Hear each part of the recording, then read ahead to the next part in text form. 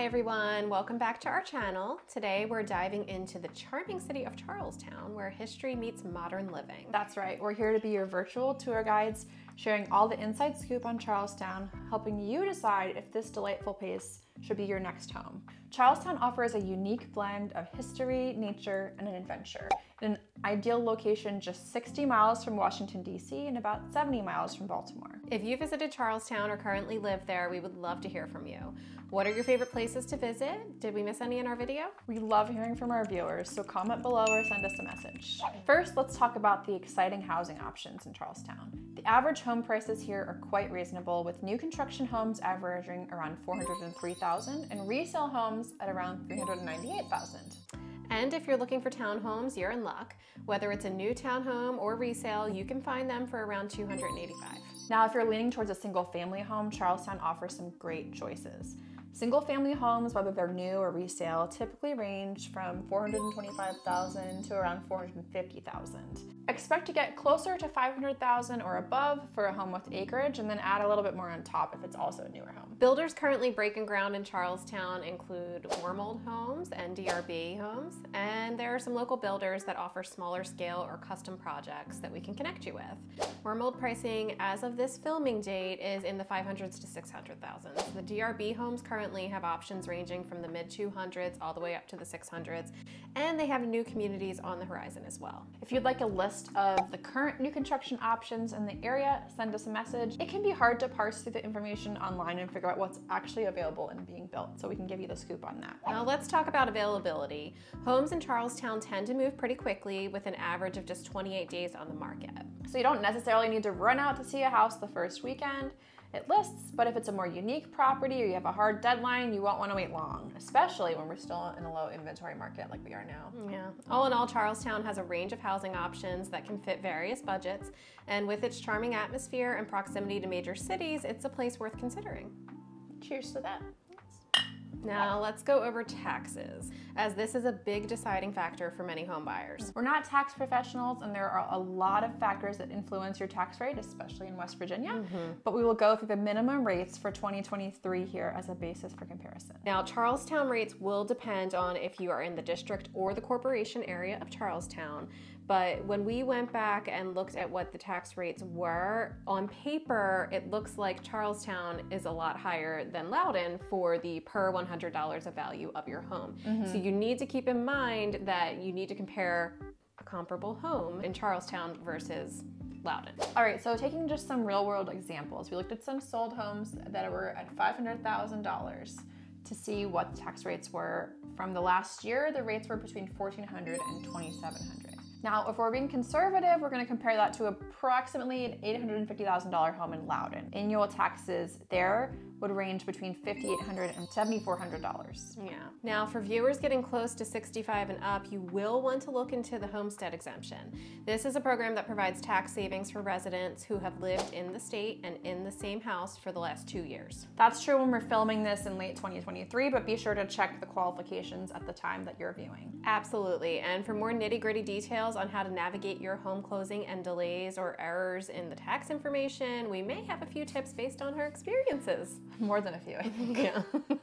if you found this video helpful so far, do us a favor and like and subscribe. Or if there are any topics you'd like us to cover, put them in the comments. All right, now we're getting into the stuff people really want to know about. Mm. Oh yes, schools. We will share some objective data we have and point you in the direction for more research. Just know that we can't recommend schools or a school system as being good or bad. As a former teacher of seven years, I can say that experiences between different schools and different children can really vary family to family. Finding the right fit requires asking a lot of questions, wouldn't you say? Yes. Just to name a few, how big of a school do you want? How many students per teacher is ideal? What kinds of scores are students getting at different levels? Do you qualify for the Hope Scholarship to get a grant for private school? The Hope Scholarship is a unique program for West Virginia residents who want to opt out of the public school system. Students kindergarten and up can qualify for a scholarship to apply towards private school education. This is an amazing benefit, but know that there are certain requirements, including the number of days that a child needs to be in a public school in West Virginia before they're eligible, assuming they've been in school before. If your child is going into kindergarten, you can qualify for it right away. Speaking of kindergarten, please be aware that West Virginia's cutoff date for turning five before starting kindergarten in public school is July 1st, unlike Virginia, which is September 30th. Oh. Personally, we considered moving to West Virginia until we realized our incoming kindergartner would no longer qualify with her August birthday. This was a big deciding factor for us, but maybe down the road. Yep, now that you don't have to think about daycare costs anymore. Right. There are a variety of school options in the area, including 17 public schools total, four private schools, and then the charter school, Eastern Panhandle Preparatory Academy, that recently opened up in Kearneysville. This school is on a 30 acre rural campus and offers preschool through 11th grade currently. The two high schools for Charles Town include Washington High School and Jefferson High School.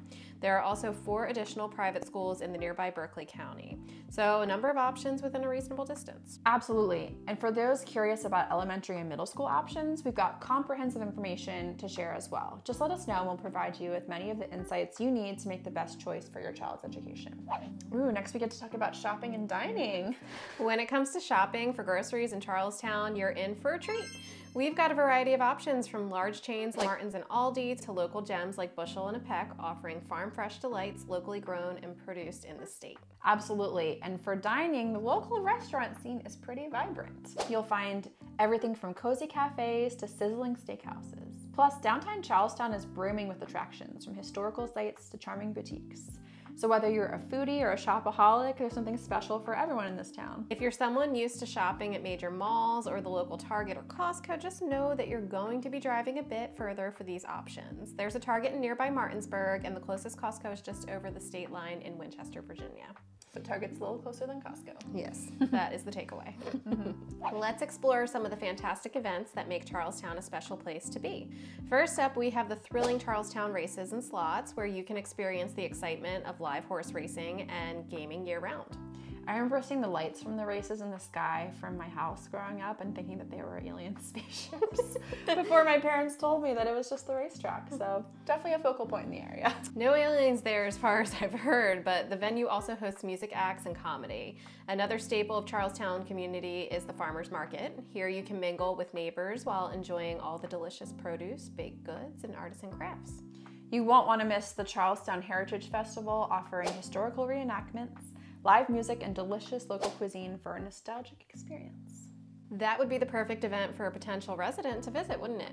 I would think so. That or the Jefferson County Fair. It's an amazing community event with thrilling rides, animals, live entertainment, and even a cornhole tournament. Ooh, I will not be entering that one. me, me neither. Last but not least, the city shines during Christmas in Charles Town with dazzling lights, festive parades, and the heartwarming holiday spirit. Mm, I can't wait for the Christmas parade this year. It kind of has a Hallmark movie vibe, right? I will not confirm nor deny. If you're looking to stay for the weekend, there are a number of commercial hotels nearby, as well as an assortment of bed and breakfasts, like the Carriage Inn Bed and Breakfast or the Hillbrook Inn and Restaurant, and of course, some short term rental options. Definitely. Now, we can't go on before addressing the big elephant in the room What's that? Fiber optic internet options. Yeah, in this charming town, fiber optic internet choices can be limited. There are a number of broadband and satellite options, and we have a list of providers that we always research when one of our clients is needing to telework. If you'd like our list of providers to help with your research, you can send us a message using our info listed below. Before you make a big move, it's essential to test and research your internet options thoroughly. Don't let limited options catch you by surprise. And don't just take someone's word for it that their internet options are adequate. There are a lot of questions you need to ask the homeowner in order to understand the internet capabilities. Better yet, test out the internet yourself during the home inspection if you can swing it. If you've been contemplating a move or just looking for a place with a perfect mix of old and new, Charles Town could just be the spot for you. From its rich history and strategic location to a mix of housing options and lively events, it truly is where the past meets the present. Absolutely. It's clear that Charleston offers a blend of charm and modern convenience that many seek in a home. And as always, if you have any questions or need more insights about Charles Town or any other locations, don't hesitate to reach out. We're here to help you make informed decisions. And we always love to play devil's advocate, so before you jump in the car, make sure to watch our video on the reasons not to move to West Virginia. Thanks for joining us. Until next time.